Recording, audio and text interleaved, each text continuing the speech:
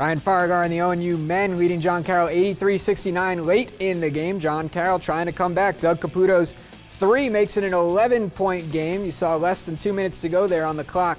Later, Polar Bears still up 13. David Hendrickson tries to draw contact on the shot. No foul, but he still hits the three.